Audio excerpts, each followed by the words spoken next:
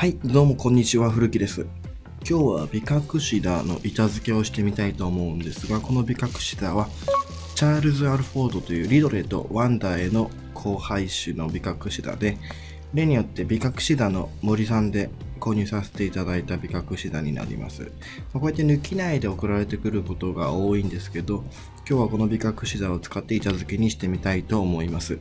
で、板付けに使う水苔なんですけど、私あまりこだわりがなくて、ホームセンターで買ってきた、このようなチリ苔の、あ、すいません、チリ苔じゃないや、水苔、えーチリ産の水苔使ってますんで、どうぞよろしくお願いいたします。でビカクシダ板付けするときに、まあ、こういった木の枠かなんかあると非常に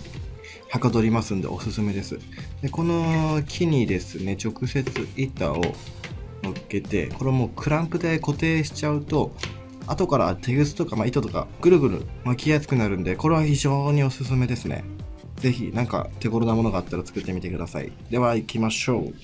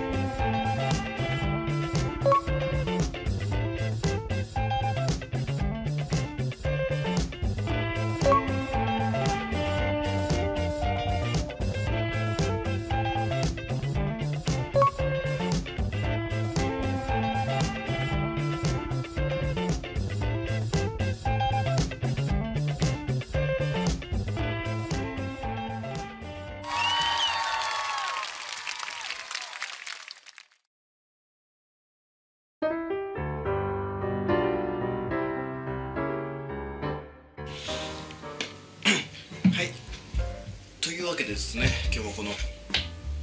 チャールズ・アルフォード板付けしてみました。だいたい板付けにかかった時間は20分ぐらいですね。まあ割とテキパキできた方かなと思っています。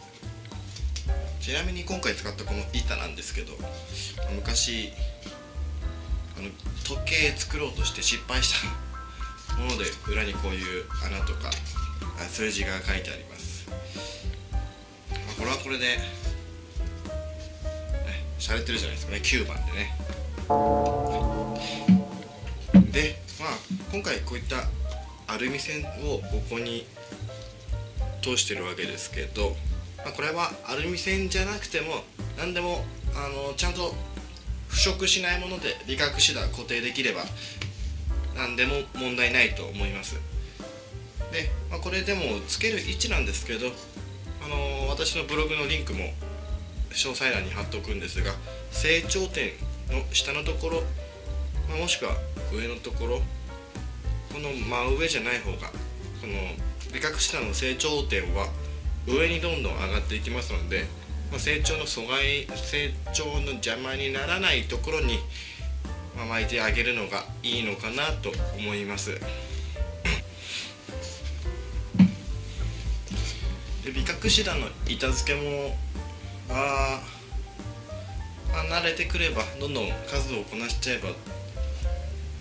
どんどんさ早く板付けもできるようになってある程度綺麗にできるようになるのかなと思います。でまあそうですね。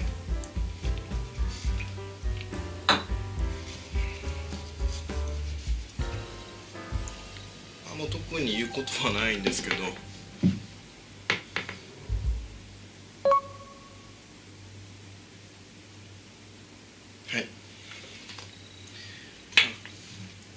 これからあのこういった美覚シダの板付けは動画でお伝えした方がきっと分かりやすいかなと思うので板付けに関して作業風景は動画で。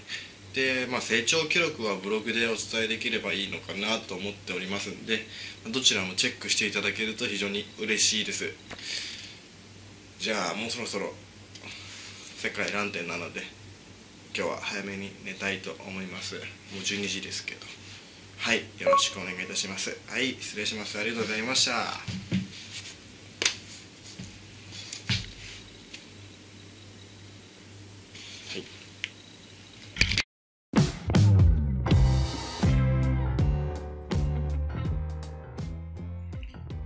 はい。というわけでですね、今日は板付け動画ご覧いただきどうもありがとうございました。板付け、まあ、終えると、こういった形で、まあ、美覚紙で新しく配置し直して照明の位置も変えてとか、まあ、いろいろやらなくちゃいけないことがたくさん出てきてね、まあ、幸せなんでしょうね、私はね、この一瞬が、まあ、このね、ひとときがね。はい。で、またね、まあ、美覚紙だ。増えていくんだろうと思うんですけど、本当にね、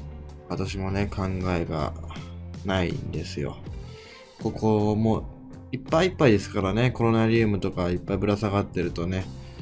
もうないですからね、場所がね。で、今回このチャールズ・アルフォードを吊るすために、グランデ